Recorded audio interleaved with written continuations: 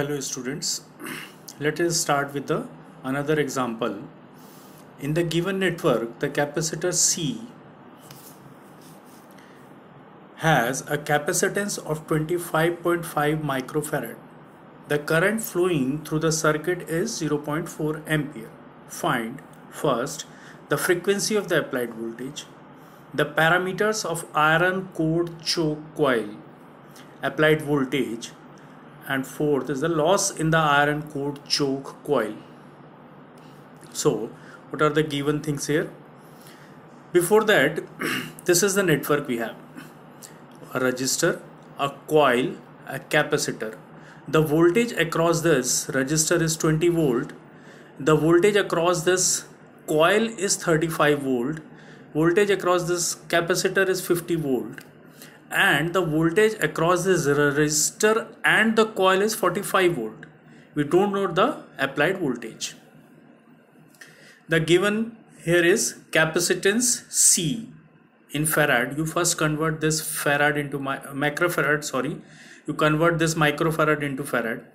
The total current is given 0.4 ampere. This current 0.4 ampere this is a series circuit so current 0.4 ampere is flowing through this resistor coil and capacitor is same.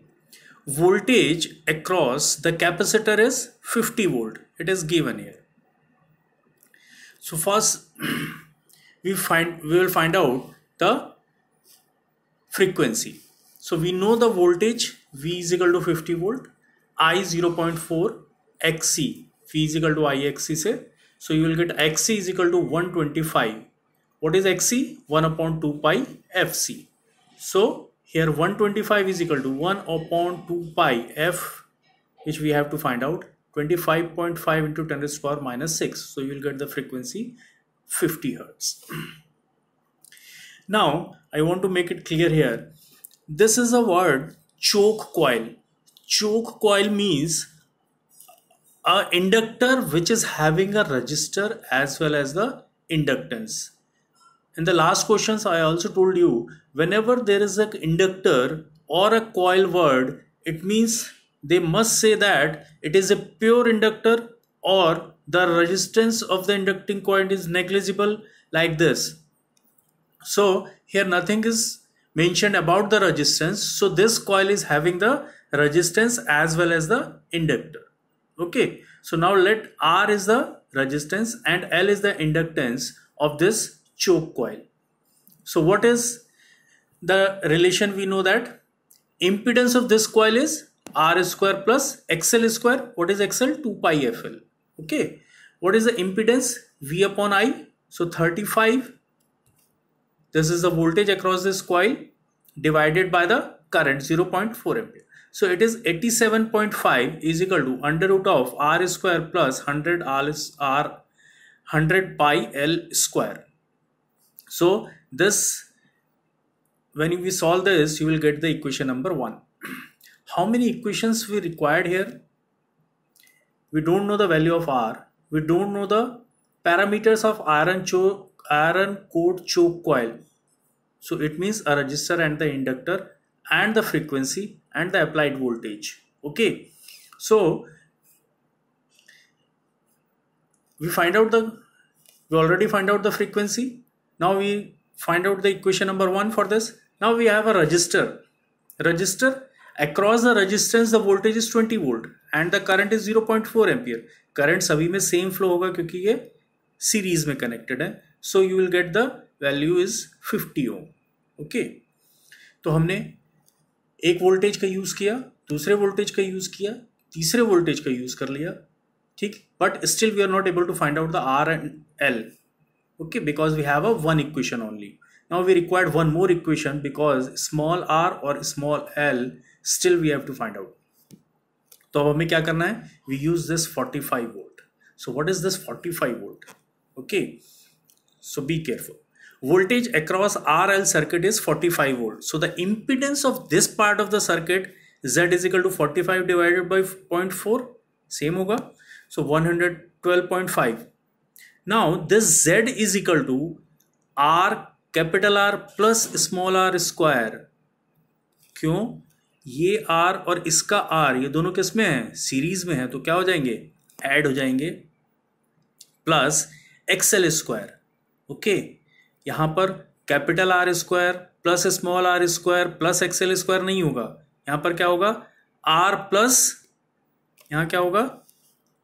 R plus small R whole square right this will give you the of this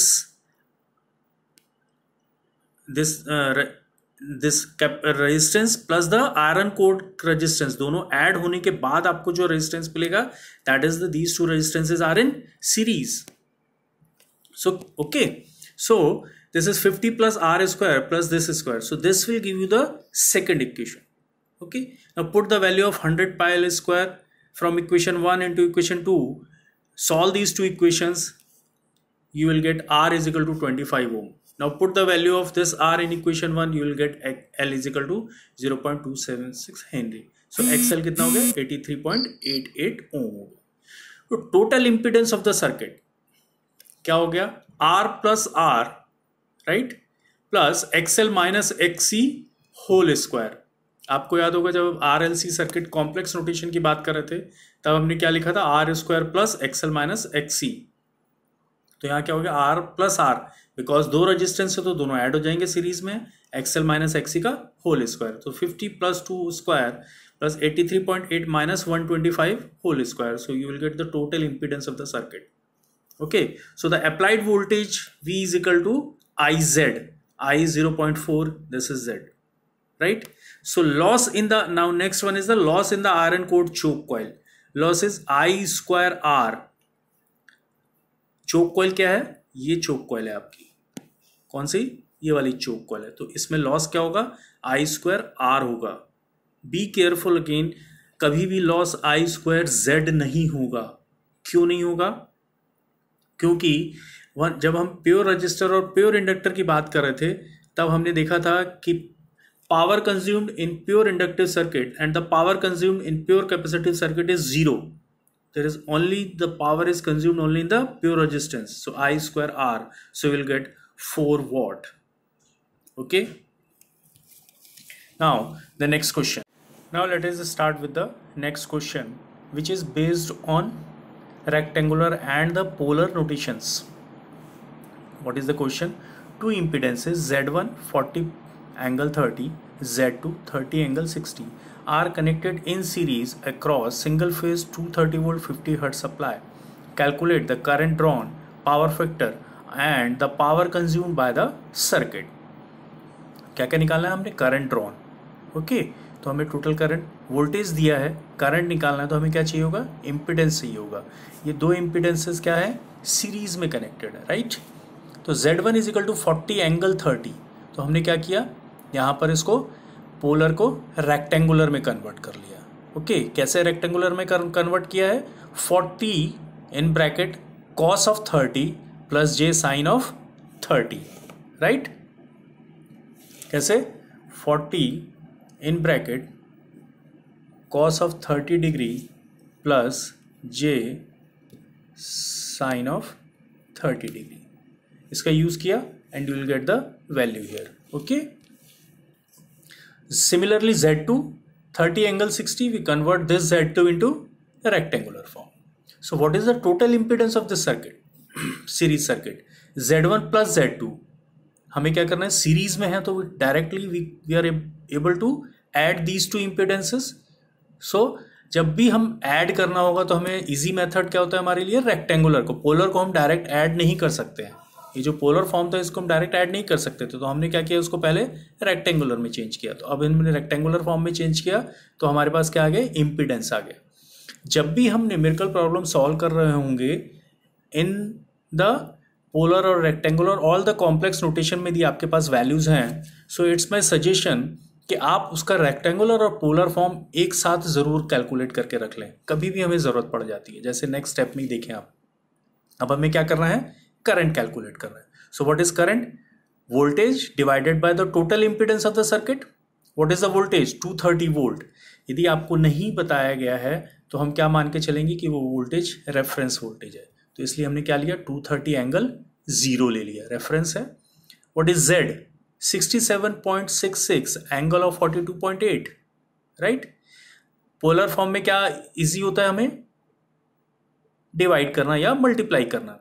तो यहाँ पर हमें क्या करना है? Divide करना है। तो 230 को डायरेक्ट सिक्सटी सेवन 67.6 से डिवाइड कर दिया देन यू विल गेट 3.4 और एंगल क्या हो जाएगा आपका? Zero minus forty two point eight so you will get minus of forty two point eight what is the power factor of the circuit power factor क्या होता है?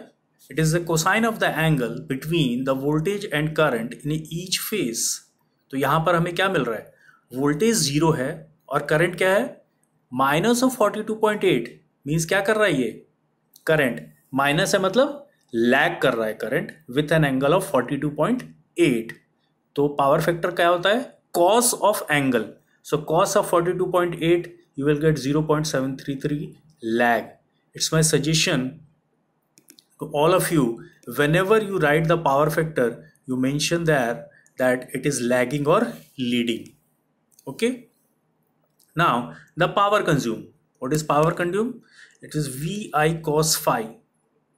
230 I is 3.4 जो हमने यहाँ पे कैलकुलेट किया कॉस फाइव कॉस फाइव कितना है? 0.733 सो 57.33 ओके okay. या अभी हमने पावर पिछले क्वेश्चन में देखी थी क्या थी? P is equal to I square R okay so what is I 3.4 what is R R this is your R 49.64 is the R so क्या मिला हमें? I square R three point four square into forty nine point six four so this is the power तो आप किसी भी method से निकालें power क्या होगी वो? सेम होगी। Clear now next question the circuit shown in figure is connected across a two thirty volt fifty hertz supply find the voltage V one V two and the power factor okay so this is the circuit shown in which we have a R L R L and C right means एक R, दो resistance दो inductor और एक capacitor connected है। But they are not directly in series एक है which is a coil which across this the voltage is V one then we have R L C across this the voltage across this is V two what is the voltage given two thirty volt fifty hertz right so how we solve this question what is XL one two pi F L one two pi F point zero four this is your point zero four L L one लिया हमने उसको। So you will get is twelve two pi point five o so what is Z one इसको हमने क्या बोला? इसको this is our Z one and this is our Z two okay.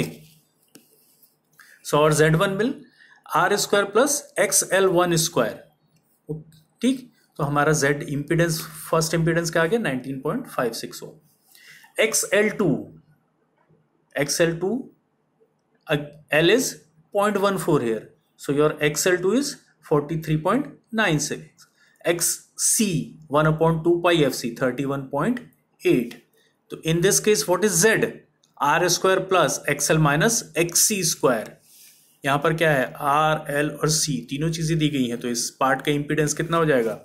R square plus X L minus X square so Z two is equal to fifteen point seven one ohm so what is the total impedance in this case the total impedance क्या होगा?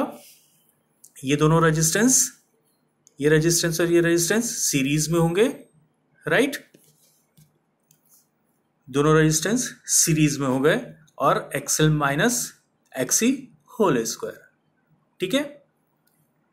तो आपका total impedance कितना आ गया? Thirty five point zero eight okay what is I I is equal to voltage divided by the total impedance voltage is two thirty divide by thirty point point current is six point five six six ampere we have to find out V one V one is I into Z one what is V two I into Z two so I is six point five five six अभी हमने calculate किया।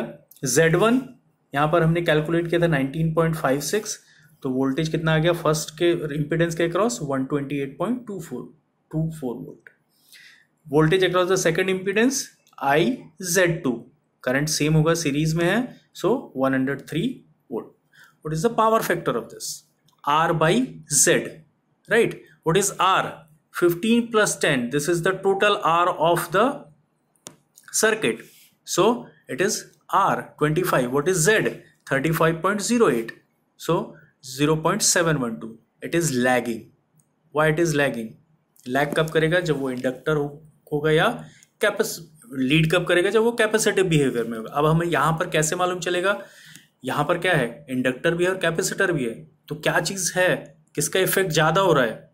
उसी के according उसका behaviour होगा। तो यहाँ पर हम क्या देख रहे हैं? Inductive behaviour is more than the capacitive behaviour that's why it is lagging okay next question two coils are connected in series having a resistance and inductive reactance of 5 and 6 ohm 3 plus 7 ohm. Two coils connected in series having a resistance and inductive reactance right a voltage of 200 volt 50 hertz is applied across a combination calculate current power factor and power absorbed in the whole circuit whole circuit के लिए निकालना है पहले then voltage drop across each coil each coil के across voltage निकालना है and power factor and power consumed in each coil. हर एक coil के लिए पावर फैक्टर पावर absorbed और पूरे सर्किट के लिए power factor and power absorb भी निकालना है हमें और करंट भी कैलकुलेट करना अब यहाँ पर ध्यान देने वाली एक चीज़ आई आपके पास। Five ohm six ohm three ohm seven ohm अभी तक हमें क्या मिल पता होता था, ये देखें अभी तक हमने, जब हम इंडक्टर में होता था तो हमें वो किस फॉर्मेट में दिया होता था? हेनरी के फॉर्मेट में दिया होता था, और हम उसको क्या कन्वर्ट करते थे? हेनरी के फॉर्मेट में यदि हम दिया होता था तो हम उसको एक्स एल के फॉर्म में चेंज करते थे, या कैपेसिटर दिया होता था तो हम उसको क्या करते थे? एक्स सी के फॉर्म में चेंज करते थे। लेकिन यहाँ पर ऑलरेडी ओम में दिया गया है, then there is no need to so what is the impedance of this part this is your Z your z1 this is your z2 right? तो हमारे पास क्या हो गया? z1 और z2 है। हमने z1 निकाला r1 plus X L one, five square plus six square. फिर से बत रहा हूँ आपको एक्सएल डायरेक्ट दिया गया है, आपको एक्सएल कैलकुलेट करना नहीं है, इसलिए हमने डायरेक्ट लिख दिया यहाँ पे। तो जेड वन आया seven point eight one, Z two three square plus seven square, seven. So total impedance क्या हो गया? जेड वन प्लस Z2 दोनों को ऐड कर दिया then you will get 15.26 right now the current in the circuit voltage divided by the current 15.6 से 13.1 point one ampere power factor of the circuit cos phi R by Z what is R कितना होगा R three plus five eight three plus five eight divided by the six four so will get zero point two five lagging again यहाँ पर तो सिर्फ़ inductor है तो इसलिए lag ही करेगा। Power P is equal to V I cos phi P I हमने निकाला कॉस फाइव भी हमने निकाल लिया then thirteen point seven three watt second find the find the voltage drop across each coil, right?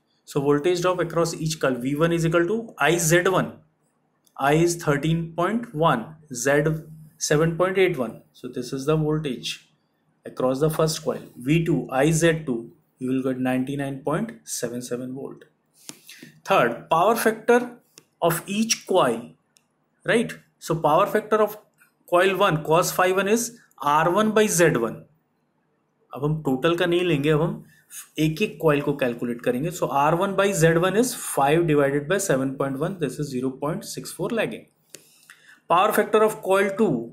is equal to R two by Z two so will get zero point three nine four lagging power consumed in coil one V one I cos phi one V one हमने यहाँ calculate किया। I is the same series में है। Cos five one अभी आपने यहाँ calculate किया। तो कितना आ गया? Eight 48 watt. Power of coil 2 v2i cos phi 2 515 watt. Right? Now the next question. In the given circuit the voltage applied is given by 0.j10 volt and the current is 0.8 plus j 0.6 ampere. Determine the value of r and x and also indicate if x is inductive or capacitive. So, this is the circuit we have. इसमें क्या दिया गया है? Voltage दी गई है current दिया गया है आपको v zero point J ten हमने क्या किया उसको? पोलर फॉर्म में कन्वर्ट कर लिया। I रेक्टेंगुलर फॉर्म में दिया गया था, इसको भी पोलर में कन्वर्ट कर लिया। क्यों करने की ज़रूरत पड़ी हमें? बिकॉज़ वी नो दैट कि हमें r और x चाहिए तो हमें z चाहिए होगा। तो जब हमें z चाहिए होगा तो हमें क्या करना पड़ेगा? Z is equal to V upon I करना पड़ेगा okay? I is lagging behind the voltage क्या हो रहा है? I is lagging behind the voltage by an angle of 90 minus thirty six point eight six fifty three point one four ninety minus क्यों आया यहाँ पर?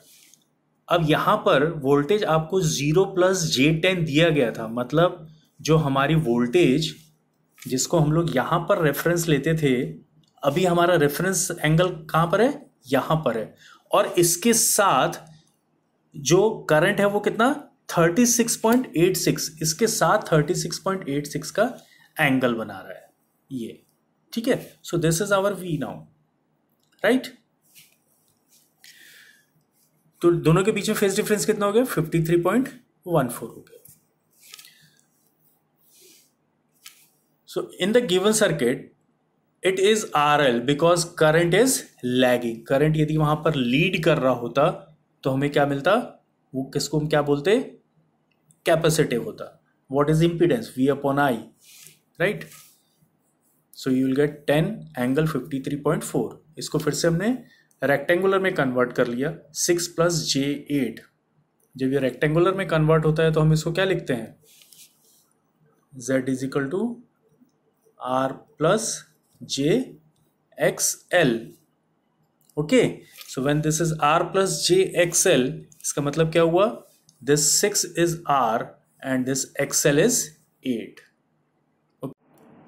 okay now the question number fifteen in the figure calculate first current voltage drop v1 v2 v3 third power absorbed by each impedance and the total power absorbed by the circuit what is z1 here z1 is 4 ohm 3 ohm means 4 plus j3 because it is a inductive z2 resistor and the capacitor so it is 6 minus j8 minus होगा क्योंकि यहाँ पर capacitor लगा हुआ है third Z three four plus J zero okay so what is the total impedance Z one plus Z two plus Z three तीनों को add कर दिया। When you simplify these three you will get fourteen minus J five you convert this fourteen 0.86 with angle of minus 19.64 याद है हमें rectangular से polar में कैसे कन्वर्ट करते हैं? एक और चीज़ हमने यहाँ पर जब Z1, Z2, Z3 किया था तब हमने यहाँ पर उसको इसी के साथ साथ पोलर फॉर्म में भी कन्वर्ट कर लिया था right now you have to find out the first current. What is current? I is equal to v by z. What is v? 100 angle of 0 degree. What is z? 14.86 with angle of minus 19.64 so when you simplify this 100 by 14.86 you will get 6.73 and angle 0 minus of minus this is plus. So plus 19.64 so what is the magnitude of the current? So the magnitude of the current is 6.73 ampere. What is the second thing you have to find out? Voltage drop across V1, V2 and V3 voltage drop v1 v2 v3 so what is v1 that is iz1 what is i? 6.73 with angle of 19.64 what is z1 here? 5.73 with angle of 36.86 right? So you, because these two quantities are in polar form so we can directly multiply this when to multiply this you will get 33.65 with angle of 56.86 right हो जाएँगे add हो जाएँगे और magnitudes क्या हो जाएँगे वो multiply हो जाएँगे second V two that is I Z two again you know we know the value of i we know the value of z directly 10 into 6.73 that is 60.73 और एंगल क्या हो जाएँगे? ऐड हो जाएँगे। Then you will get plus of this and minus of this you will get minus of thirty three point four eight V three is I Z three right what is Z three four angle zero so you will get twenty six point nine three with angle of nineteen point six four power consume by the each coil P one is I square R one I six point seven three magnitude मिला R one is four P two I square R two r2 is 6 p3 i square r3 this. So when you add these so total power consumed by the circuit is 633.634 watt okay? Thank you